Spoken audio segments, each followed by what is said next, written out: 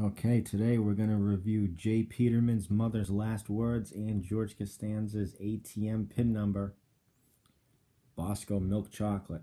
Well, not the chocolate syrup, but the chocolate candy bar made from the company that makes the chocolate syrup, anyway.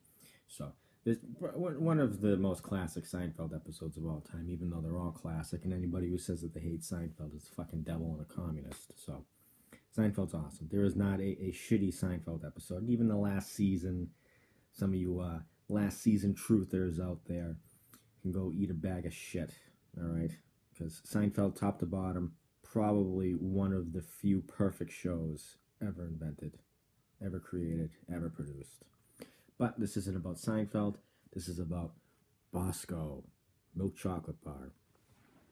Wonderful packaging here, old wax style package Memories since 1928. Special limited edition collector series. I don't know who collects chocolate wrappers, but I think I'm going to start because I am absolutely in love with this. So, I've never had this before. They don't really sell this in regular stores. At least around here they don't, even though on the back it says that this is a Salem, Massachusetts company. So it's local, but I've, I've never seen it. Well, regardless, I'm going to try it for the first time today. As you see here, this is a solid milk chocolate bar, just like a Hershey's or a Cadbury's is. But it's going to uh, taste different. Or it should taste different. Or it'll just taste the same. And it's all bunk because chocolate's chocolate, even though it's not. So let's let's dig in here and see what's going on.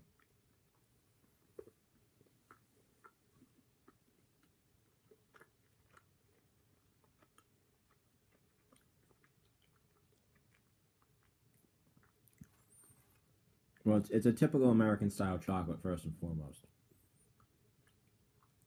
It's not as milky as like like United States chocolate. When they say milk chocolate, they're not. It's not the same milk chocolate as it is in like England. Like it borderlines more towards dark chocolate. Like it's a it's a very milk chocolate in this country is a very dark milk chocolate.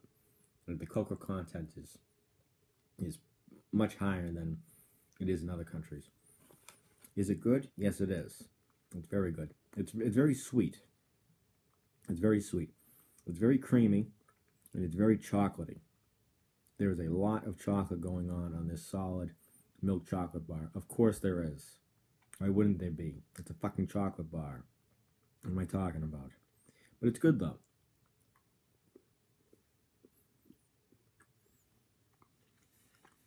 If I had to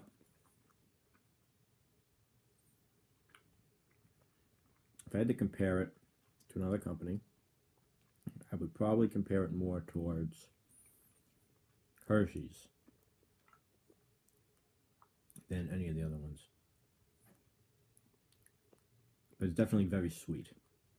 It's a very, very sweet chocolate.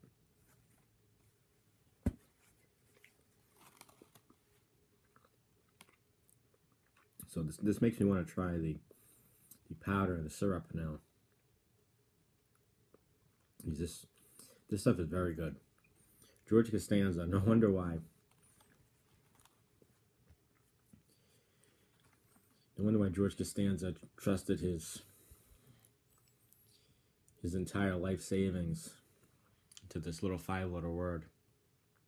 It's very delicious. Dark Master indeed, the cocoa bean. Bosco is A number one. I absolutely love it. It is now transformed from Seinfeld reference to an actual physical thing that I've consumed, that I've partaken in. Partaken? Partook? That doesn't matter. Anyway, Bosco, I highly recommend. It's great. Little on the sweet side.